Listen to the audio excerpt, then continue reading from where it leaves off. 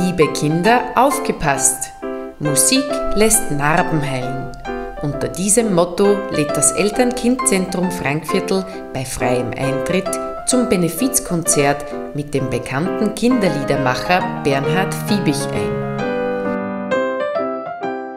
Die Musik ist eine Weltsprache, die uns verbindet.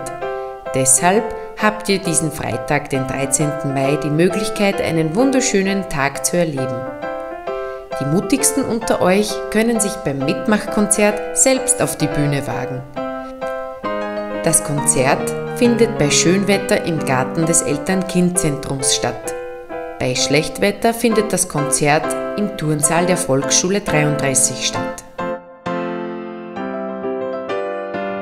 Alle Kinder sind herzlich eingeladen, diesen Freitag, den 13. Mai um 14 Uhr zum Benefizkonzert von Bernhard Fiebig zu kommen.